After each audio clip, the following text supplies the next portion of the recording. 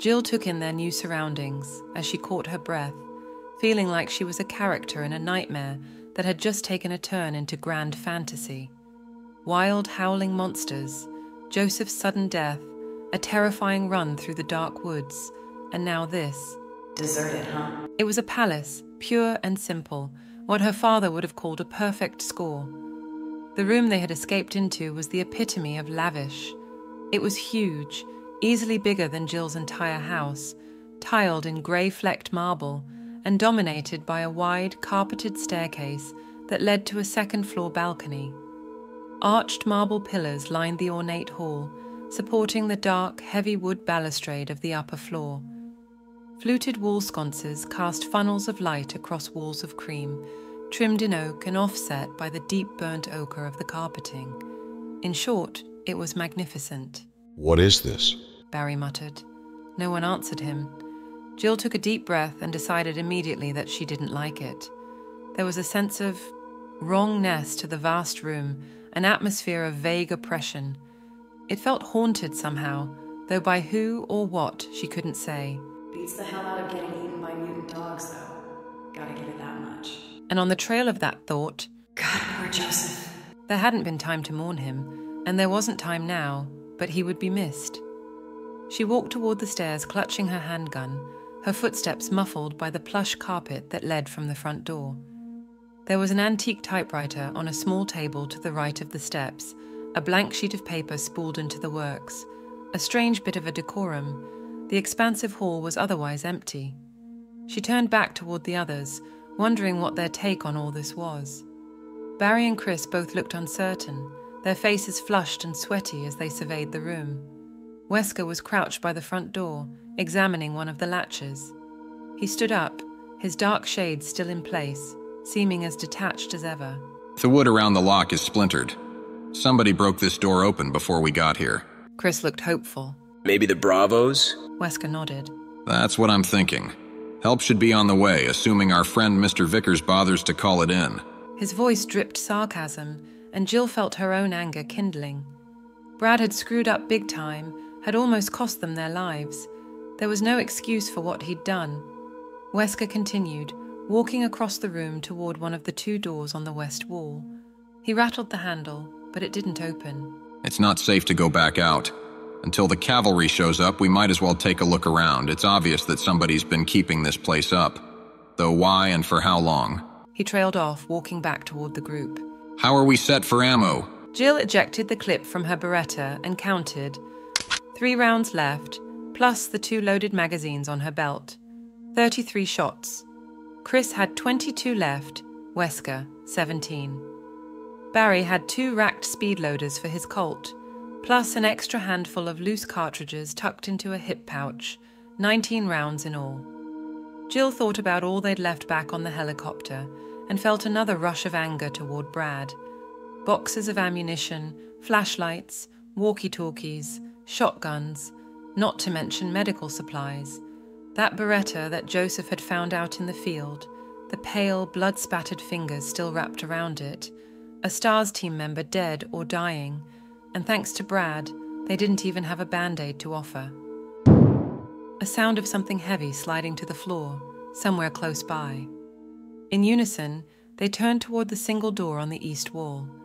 Jill was suddenly reminded of every horror movie she'd ever seen a strange house, a strange noise. She shivered and decided that she was most definitely going to kick Brad's narrow ass when they got out of here, Chris, check it out and report back ASAP. Wesker said. We'll wait here in case the RPD comes knocking. You run into any trouble, fire your weapon and we'll find you. Chris nodded and started toward the door, his boots clacking loudly against the marble floor. Jill felt that sense of foreboding wash over her again. Chris? His hand on the knob, he turned back, and she realized that there was nothing she could tell him that made any sense. Everything was happening so fast, there was so much wrong with this situation that she didn't know where to start.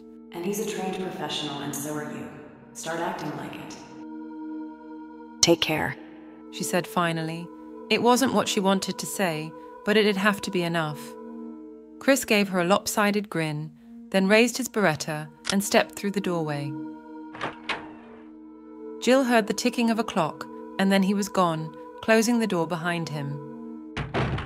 Barry caught her gaze and smiled at her, a look that told her not to worry, but Jill couldn't shake the sudden certainty that Chris wouldn't be coming back.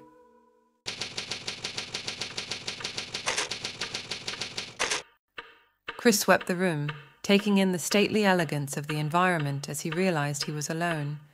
Whoever had made the noise, they weren't here. The solemn ticking of a grandfather clock filled the cool air, echoing off of shining black and white tiles. He was in a dining hall, the kind he'd only ever seen in movies about rich people.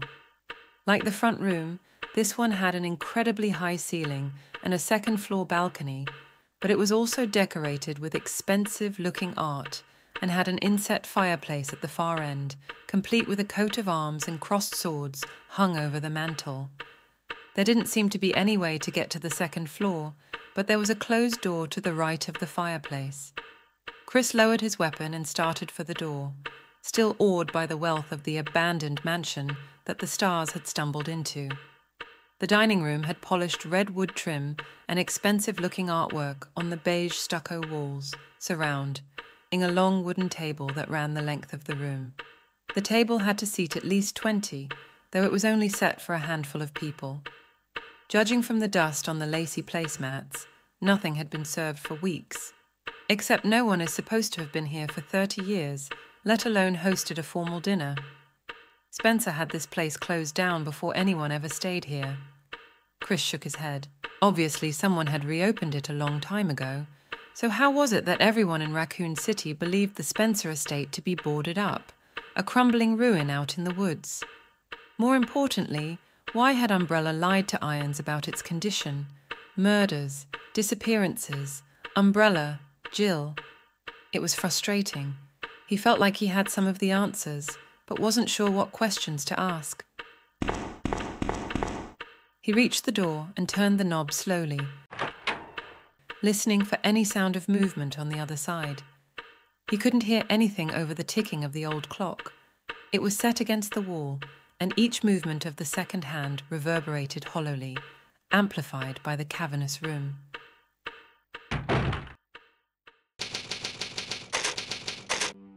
The door opened into one side of a narrow corridor, dimly lit by antique light fixtures.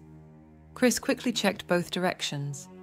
To the right was maybe 10 metres of hardwood hall, a couple of doors across from him, and a door at the end of the corridor. To the left, the hallway took a sharp turn away from where he stood, widening out. He saw the edge of a patterned brown run on the floor there. He wrinkled his nose, frowning. There was a vague odour in the air, a faint scent of something unpleased, ant, something familiar. He stood in the doorway another moment, trying to place the smell. One summer, when he was a kid, the chain had come off his bike when he'd been out on a ride with some friends. He'd ended up in a ditch about six inches away from a choice bit of roadkill, the dried up, pulpy remains of what once might have been a woodchuck. Time and the summer heat had dissipated the worst of the stink, though what had remained had been bad enough. Much to the amusement of his buddies, he'd vomited his lunch all over the carcass, taken a deep breath, then puked again. He still remembered the sun baked scent of drying rot, like thickly soured milk and bile, the same smell that lingered in the corridor now like a bad dream. A soft, shuffling noise from behind the first door to his right, like a padded fist sliding across a wall. There was someone on the other side. Chris edged into the hallway and moved toward the door, careful not to turn his back to the unsecured area. As he got closer, the gentle sounds of movement stopped, and he could see that the door wasn't closed all the way. No time like the present. With an easy tap, the door swung inward into a dim hall with green flecked wallpaper. A broad shouldered man was standing not 20 feet away, half hidden in shadow, his back to Chris. He turned around slowly, the careful shuffling of someone drunk or injured, and the smell that Chris had noticed before came off of the man in thick, noxious waves. His clothes were tattered and stained, the back of his head patchy with sparse, scraggly hair. Gotta be sick, dying maybe. Whatever was wrong with him, Chris didn't like it. His instincts were screaming at him to do something. He stepped into the corridor and trained his Beretta on the man's torso. Hold it, don't move. The man completed his turn and started toward Chris, shambling forward into the light. His, its, face was deathly pale, except for the blood smeared around its rotting lips. Flaps of dried skin hung from its sunken cheeks, and the dark wells of the creature's eye sockets glittered with hunger as it reached out with skeletal hands. Chris fired, three shots that smacked into the creature's upper chest in a fine spray of crimson. With a gasping moan, it crumpled to the floor, dead. Chris staggered back, his thoughts racing in time with his hammering heart. He hit the door with one shoulder, was vaguely aware that it latched closed behind him as he stared at the fallen, stinking heap. Dead! That thing's the walking goddamn dead! The cannibal attacks in Raccoon, all of them near the forest. He'd seen enough late night movies to know what he was looking at, but he still couldn't believe it. Zombies. No, no way, that was fiction, but maybe some kind of a disease mimicking the symptoms. He had to tell the others. He turned and grabbed at the handle, but the heavy door wouldn't move. It must have locked itself when he'd stumbled. Behind him, a wet movement. Chris spun, eyes wide as the twitching creature clawed at the wooden floor, pulling itself toward him in an eager, single minded silence. Chris realized that it was drooling, and the sight of the sticky pink rivulets pooling to the wood floor finally spurred him to action. He fired again. Two shots into the thing's decaying, upturned face. Dark holes opened up in its knobby skull, sending tiny rivers of fluid and fleshy tissue through its lower jaw. With a heavy sigh, the rotting thing settled to the floor in a spreading red lake. Chris didn't want to make any bets on it staying down. He gave one more futile yank on the door and then stepped carefully past the body, moving down the corridor. He rattled the handle of a door on his left, but it was locked. There was a tiny etching in the key plate, what looked like a sword. He filed that bit of information into his confused, whirling thoughts and continued on, gripping the Beretta tightly. There was an offshoot to his right with a single door, but he ignored it, wanting to find a way to circle back to the front hall. The others must have heard the shots, but he had to assume that there were more creatures running around here, like the one he'd killed. The rest of the team might already have their hands full. There was a door at the end of the hall on the left, where the corridor turned. Chris hurried toward it, the putrid scent of the creature, the zombie, call it what it is, making him want to gag. As he neared the door, he realized that the smell was actually getting worse, intensifying with each step. He heard the soft, hungry moan as his hand touched the knob, even as it registered that he only had two bullets left in his clip. In the shadows to his right, movement. Gotta reload, get somewhere safe. Chris jerked the door open and stepped into the arms of the shambling creature that waited on the other side, its peeling fingers grasping at him as it lunged for his throat.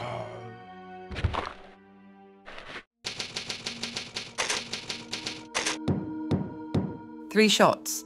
Seconds later, two more. The sounds distant but distinct in the palatial lobby. Chris! Jill, why don't you. Wesker started, but Barry didn't let him finish. I'm going too. He said, already starting for the door on the east wall. Chris wouldn't waste shots like that unless he had to. He needed help. Wesker relented quickly, nodding. Go, I'll wait here. Barry opened the door, Jill right behind.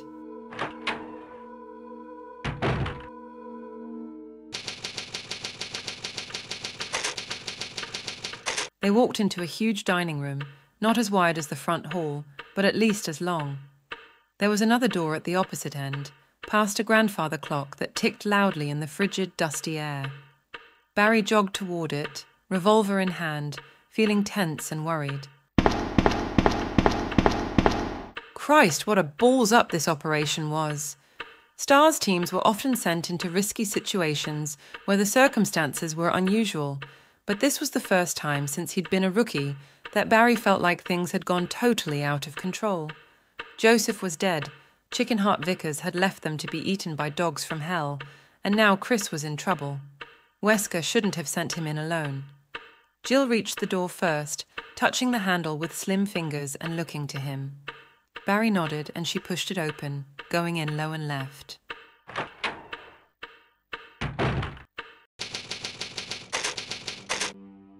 Barry took the other side, both of them sweeping an empty corridor. Chris? Jill called out quietly, but there was no answer. Barry scowled, sniffing the air. Something smelled like rotting fruit, I'll check the doors. Barry said. Jill nodded and edged to the left, alert and focused. Barry moved toward the first door, feeling good that Jill was at his back. He'd thought she was kind of bitchy when she'd first transferred, but she was proving to be a bright and capable soldier, a welcome addition to the Alphas. Jill let out a high pitched gasp of surprise, and Barry spun, the scent of decay suddenly thick in the narrow hall. Jill was backing away from an opening at the end of the corridor, her weapon trained on something Barry couldn't see. Stop! Her voice was high and shaky, her expression horrified, and she fired once, twice, still backing toward Barry, her breathing fast and shallow. He raised the Colt as she moved out of the way, as a tall man stepped into view. The figure's arms were stretched out like a sleepwalker's, the hands frail and grasping. Barry saw the creature's face then and didn't hesitate. He fired. A .357 round peeling the top of its ashen skull away in an explosive burst, blood coursing down its strange, terrible features and staining the cataracts of its pale, rolling eyes. It pitched back, sprawling face up at Jill's feet. Barry hurried to her side, stunned. What? He started, then saw what was on the carpet in front of them, laying in the small sitting area that marked the end of the corridor. For a moment, Barry thought it was Chris, until he saw the Stars Bravo insignia on the vest and felt a different kind of horror set in as he struggled to recognize the features.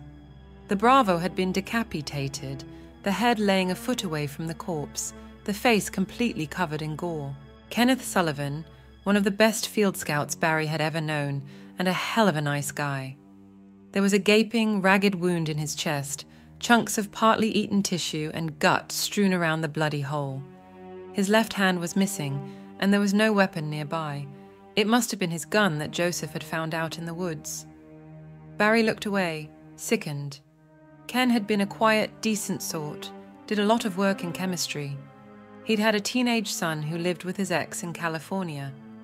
Barry thought of his own girls at home, Moira and Polly, and felt a surge of helpless fear for them. He wasn't afraid of death, but the thought of them growing up without a father. Jill dropped into a crouch next to his ravaged body and rifled quickly through the belt pack. She shot an apologetic look at Barry, but he gave her a slight nod. They needed the ammo. Ken certainly didn't. She came up with two clips for a 9mm and tucked them into her hip pocket. Barry turned and stared down at Ken's murderer in disgust and wonder. He had no doubt that he was looking at one of the cannibal killers that had been preying upon Raccoon City. It had a crusty scum of red around its mouth and gore encrusted nails, as well as a ragged shirt that was stiff with dried blood. What was weird was how dead it looked. Barry had once done a covert hostage rescue in Ecuador, where a group of farmers had been held for weeks by a band of insane guerrilla rebels. Several of the hostages had been killed early in the siege, and after the Stars managed to capture the rebels, Barry had gone with one of the survivors to record the deaths. The four victims had been shot, their bodies dumped behind the small wooden shack that the rebels had taken over. After three weeks in the South American sun, the skin on their faces had shriveled, the cracking, lined flesh pulling away from sinew and bone. He still remembered those faces clearly and saw them again now as he looked down at the fallen creature. It wore the face of death, besides which, it smells like a slaughterhouse on a hot day. Somebody forgot to tell this guy that dead people don't walk around. He could see the same sickened confusion on Jill's face, the same questions in her eyes. But for now, there weren't any answers. They had to find Chris and regroup. Together, they moved back down the corridor and checked all three doors, rattling handles and pushing at the heavy wood frames. All were securely locked. But Chris had to have gone through one of them. There's nowhere else he could have gone. It didn't make sense. and short of breaking the doors down, there was nothing they could do about it. We should report this to Wesker. Jill said, and Barry nodded agreement. If they'd stumbled into the hiding place of the killers, they were going to need a plan of attack.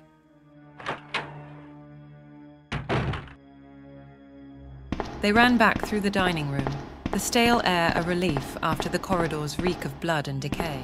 They reached the door back to the main hall and hurried through, Barry wondering what the captain would make of all this. It was downright. Barry stopped short, searching the elegant, empty hall and feeling like the butt of some practical joke that simply wasn't funny. Wesker was gone.